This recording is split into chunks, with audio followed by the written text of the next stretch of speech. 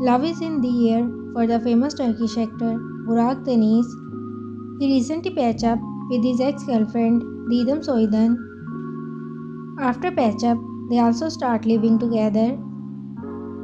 Burak Deniz also got a lot of criticism because of his relationship with Didem Soydan. Recently, Burak Deniz shared some love moment with his girlfriend Didem Soydan. In this way, Burak Deniz said to everyone that everything is well between him and Didem Soydan.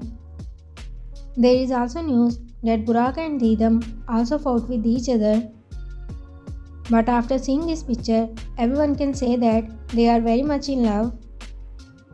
We wish them best of luck for their future. Comment in the comment section. What do you think about this couple of Turkish industry? See you in the next video. Thanks for watching.